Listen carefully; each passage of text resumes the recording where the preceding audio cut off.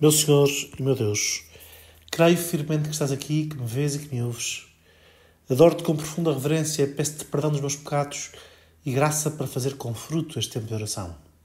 Minha Mãe Imaculada, São José, meu Pai, Senhor, anjo da minha guarda, intercedei por mim.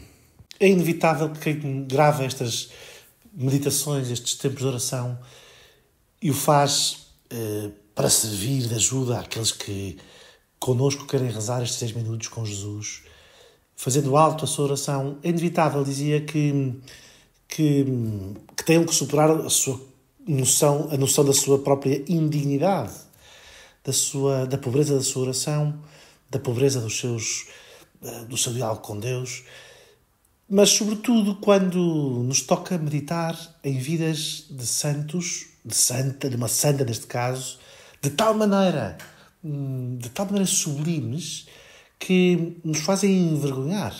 Fazem envergonhar a nossa aburguesada barriga, da nossa vida eh, tantas vezes instalada e cómoda. Como foi a vida de Santa Teresa Benedita da Cruz, Santa Edith Stein, esta judia que eh, era uma filósofa por vocação, que ardia pelo desejo de encontrar a verdade Ardia nela um desejo de verdade. Um, e percorreu o árduo caminho da filosofia, o árduo caminho da busca humana pela verdade, uh, até encontrar em Jesus Cristo, o Verbo encarnado, o Logos encarnado, a sabedoria divina oferecida aos homens na sua encarnação, a resposta ao anseio profundo da sua razão em busca, do seu coração à procura à procura da resposta definitiva sobre o mistério da realidade, sobre o ser das coisas, sobre Deus, sobre a alma humana e o destino da vida humana. Esta busca, uh, feita por, uma, por esta mulher, por esta Edith Stein, uh, judia, dizia, levou-a, por isso, ao batismo. Foi batizada. Foi batizada e eh, depois de ensinar durante algum tempo, tornou-se carmelita, sem nunca deixar de ser uma buscadora da verdade. Eh, agora, percebendo que a verdade e o amor se encontram e, portanto, que a busca pela verdade é a busca pelo amor mais perfeito, pelo um aprofundar mais constante do mistério da comunhão com Deus e da comunhão com os outros, de servir os outros eh, com ardor. Por isso, a busca pela verdade é a busca pela santidade. Dizia ela a certa altura que o nosso amor pelo próximo é a medida do nosso amor a Deus. Para os cristãos, e não só para eles, ninguém é estrangeiro. O amor de Cristo não conhece fronteiras. Portanto, esta era a sua, o seu caminho espiritual. Caminho espiritual a que ela chamou uh, a ciência da cruz. Aprofundar no conhecimento da cruz, no conhecimento deste amor de Deus levado até ao fim, que não tem fronteiras e que não encontra em ninguém um estrangeiro, mas em todos um irmão, um próximo, a quem oferecer a vida, a quem amar, a quem encontrar a Deus, ou onde encontrar a comunhão com Deus. Esta mulher, eh, que se tornou carmelita, dizia foi um, eh, carmelita num, num, mosteiro, num, num mosteiro do Carmelo em, uh, nos Países Baixos, na Holanda. E durante a Segunda Guerra Mundial, os judeus, ou melhor, os nazis, ocuparam a Holanda e, e começaram a deportar, a certa altura, a deportar os judeus holandeses levando-os para os campos de concentração, sobretudo para Auschwitz, para os exterminar, como fizeram a tantos outros, de tantas outras, tantos outros países europeus. Esta loucura absoluta da maldade humana eh, que nós vivemos no século XX e que, eh, e que e da qual não estamos livres, esta loucura da maldade humana. Esta mulher, então, vivia, Santa Teresa Benedita da Cruz, vivia num Carmelo, batizada, judia de facto, mas já batizada, e também ela eh, corria a ameaça de ser deportada e, de facto, e de facto, chegou o momento de ela também ser deportada. Mas houve a hipótese de a, de a salvar, por ser batizada, por ser carmelita, por ser católica, eh, por ter, de alguma maneira, eh, negado a sua pertença ao povo judeu, eh, por ter saído da massa dos judeus, fazendo-se católica. Portanto, de alguma maneira, abriu-se a oportunidade, a janela, de ser salva da perseguição nazi via este seu batismo tão verdadeiramente assumido, tão verdadeiramente desejado, tão verdadeiramente vivido. E ela negou essa, essa, essa possibilidade de salvar a vida, dizendo o seguinte: não o façais, isto é, não façais as diligências para me salvar a vida. Porque deveria eu ser excluída desta perseguição e desta e desta e de ser conduzida a Auschwitz. A justiça não consiste acaso, no facto de eu não, não, não obter vantagem do meu batismo? Se não posso compartilhar a sorte dos meus irmãos e irmãs, num certo sentido, a minha vida é destruída. No momento culminante da sua vida, no momento decisivo, em que se abriu a porta de, uma, de um refúgio seguro uh, e de uma salvação, uh, de uma salvação humana, ela disse estas fra esta frase hum, difícil de perceber para nós, não?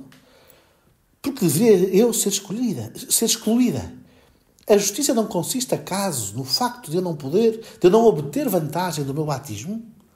Se não posso compartilhar a sorte dos meus irmãos e irmãs, num certo sentido, a minha vida é destruída. Não obter vantagem do batismo. O batismo de Jesus Cristo, o batismo que consiste em ser imerso na vida da graça, na vida de Cristo. Não é, não é um refúgio que nos põe à margem das vicissitudes da história ou do destino dos meus irmãos e das minhas irmãs. Pelo contrário, é Nosso Senhor encarnado a meter-se a meter-se com toda a sua bondade, com toda a sua graça, com todo o seu poder eh, salvador, redentor, com toda a sua bondade, na, eh, na história dos homens, na, no, na vida dos homens. É o mistério da encarnação. O batismo é o mistério da encarnação a ser oferecido aos homens, a cada um de nós. Cristo encarnou para oferecer a sua bondade aos homens de cada tempo e de cada lugar e de cada, para que eles sejam lugares de graça, imersos na graça de Deus, na vida de Cristo, na vida dos filhos de Deus e assumam a responsabilidade do seu tempo e da sua, e, e, e, da, sua, e da sua história com um, uma resposta cristã, com uma resposta da cruz, oferecendo-se em bondade e justiça. Não é excluir-me dos problemas para uma salva dos problemas, não é sair do povo judeu, é, é entrar com a bondade de Deus, acompanhar com a bondade de Deus as, os acontecimentos da história humana, da, da minha história. E, portanto, é viver cada momento e circunstâncias da minha vida uh, em plena união com Cristo que se oferece, que ama, que, que se dá pelos outros, pela salvação de todos. E isto Edith Stein percebeu. Percebeu que era mais judia agora, que era batizada, que era justo agora que participasse do suplício em que o seu, pelo qual o seu povo, o povo de Israel, passava, agora mais que fora batizada. Porque isso foi o que o seu mestre o Senhor, o Verbo encarnado, Jesus Cristo, fez. Partilhar o destino do homem no meio da história. As uh, loucuras e as maldades do pecado do, do, do pecado humano, Nosso Senhor uh, veio uh, aceitá-las, veio vivê-las, veio redimi-las, suportá-las, enchendo, enchendo a história dos homens de uma bondade capaz de redimir todas as coisas, de libertar todas as coisas, de, uh, de refazer o sofrimento em graça, o sofrimento em redenção, de uh, transfigurar pela cruz o sofrimento em amor, em vida nova.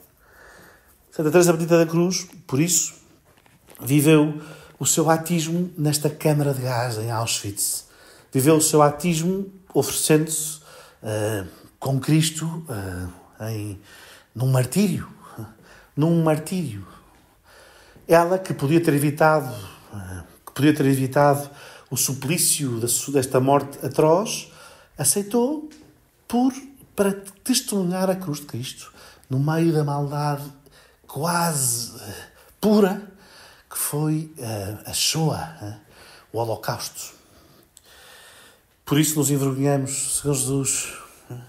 São tão pequenos os nossos esforços, é tão pouca a força com que vivemos o nosso batismo.